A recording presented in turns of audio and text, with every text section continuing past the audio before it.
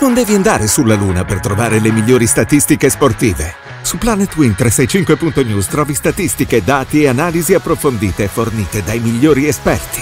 Scopri il futuro dello sport su planetwin365.news. I'm Mo Rocca, and I'm excited to announce season four of my podcast, Mobituaries. I've got a whole new bunch of stories to share with you about the most fascinating people and things who are no longer with us. From famous figures who died on the very same day to the things I wish would die, like buffets. All that and much more. Listen to Mobituaries with Mo Rocca wherever you get your podcasts. L'eleganza incontra la tecnologia. Lancia Y, da oggi nei nuovi allestimenti oro, platino ed eco chic GPL. Partono gli incentivi Lancia. Gamma Y Hybrid da 139 euro al mese con finanziamento interessi zero e rottamazione. E dopo un anno puoi tenerla o sostituirla. Anticipo 1600 euro, 11 rate da 139 euro e rata finale 12.058 euro. TAN 0 TAG 381. Offerta soggetta ad approvazione Stellantis Financial Services. Fino al 31 dicembre. Pezzone di Ketama. Pezzone. Pesante. Bello. Non si pente perché non si torna indietro. Non è che non mi pento eh, perché le scelte mi hanno dato cose che poi ne è valsa la pena e magari c'è anche questa variabile, ma perché tanto non si torna indietro. Quindi è inutile pentirsi questo diciamo è, le, è uno dei concetti che ha espresso eh, il discorso dell'Armageddon è comunque relativo al fatto che domani può finire tutto veramente, si intende che domani può arrivare la morte di ognuno di noi e questo è il concetto, fondamentalmente. E quindi lui spinge all'eccesso perché? Perché sta pagando il conto. Lui qui sembra quasi che dà consiglio, ho fatto i miei errori, non fare lo stesso. Non è che ti sto dando un consiglio a te, io mi sto sfogando perché sto pagando il conto della vita e a volte sono depresso, dice, a volte eh, non lo so, insomma, anzi penso di sapere. Eh, ma non alla spocchia, voglio dare consigli. No, no, io sto dicendo, sto esprimendo quello che sono, perché appunto eh, cito il testo proprio, eh, faticoso, no? ti, ti, dice che si sente solo nel testo, perché la, è, la, è, è, il prezzo che paga chi rimane se stesso. E quindi, e che dobbiamo fare? Eh, lì è un canto di dolore reale, messo però in una situazione eh, che non è la classica menata, lui suona molto moderno, lui è moderno e questa è la sua forza. Cioè lui ha preso un concetto vecchio come il mondo perché e, e viene dal mondo, è quella, è quella, quella parte, diciamo, di, dell'essere umano in basso, no? Che ognuno, che ogni essere umano ha sentito, ha provato, è l'ombra di noi stessi. Sta parlando di una zona che, che abbiamo visto tutti almeno una volta. C'è chi però mette il paraocchi e chi invece eh, non la nega c'è anche questa roba dentro me. che Tama ci si affonda perché è una personalità molto, molto, molto sensibile.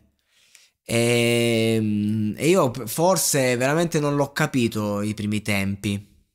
Che l'ho anche criticato. Ehm, cioè, dicevo sempre: mi piace di lui lo stile. Ma, ma non mi piace come lo sfrutta, come lo usa. A volte insomma ho anche attaccato un po' di, di cose, però la verità è che io più passa il tempo, più lo scopro, più matura. Ecco, ci voleva, diciamo, una bella fetta di successo affinché lui se ne stancasse e poi si mettesse nella condizione di dover raccontare eh, il, la sua condizione, il suo dolore. Così, in questa forma. E sembra la fine del mondo perché lo senti che è un ragazzo che ci flirta con la morte, con la consapevolezza di questa. Lo senti che è un ragazzo che ha aperto dei canali con... Ehm... Eh, come lo posso spiegare? Non è che ha aperto dei canali con l'altro mondo, cioè ha aperto dei canali talmente intensi in una, in, una, prospettiva comunque l'abuso di droga eh, un, un, usata in un certo modo poi ti porta a, a, veramente vicino alla morte e c'è, c'è, uno step tra la vita e quella sensazione lì e, e lui c'è stato talmente tante volte dentro che ha fatto il callo e te lo racconta bene e lo vedi lo vedi negli occhi lo vedi lo senti nella musica che non va un cazzo bene. Però lo accetta. Maturato tanto come persona e quindi anche la sua musica.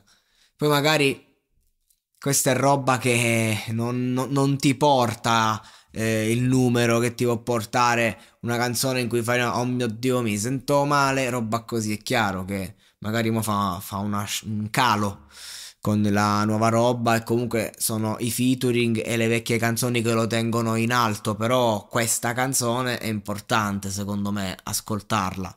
C'è una canzone che comunque eh, ti dà qualcosa, ti nutre, eh, è interessante, è ben fatta, e, e suona bene e merita. E quindi di conseguenza è questa la musica che un artista deve fare, anche perché io stavo pensando, no? Eh, vedendo ieri il documentario su Battiato, cioè lui c'è stato, stato, un momento in cui ha lanciato due o tre artiste con delle canzoni che oggi non, non, non, non, sarebbero minimamente appetibili nel mercato, ma che erano fottutamente sue. Cioè, tu lo sentivi e dici, ok, Battiato, sia nell'arrangiamento che nello, nel, nel modo in cui viene cantata e nel modo in cui è scritto il testo. E lanciava queste hit così.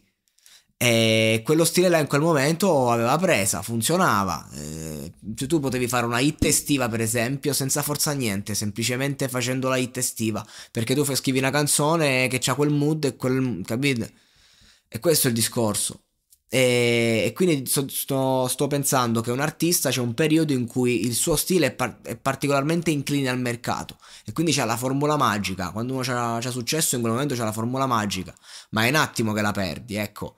Eh, io credo che Ketama eh, ha trasformato quella che era la formula magica in una formula perfetta per raccontarsi.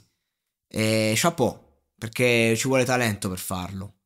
E considerando che non è neanche nella fase in cui se la sente di cazzeggiare, ma che la musica in questo momento per lui è tornata ad essere un'esigenza piena, perché l'arte deriva dal male di vivere, e se tu vuoi fare artista, devi stare male, ok? Altrimenti aprite un podcast, fate come me. Se voi avete una community e volete sta un microfono, aprite un podcast.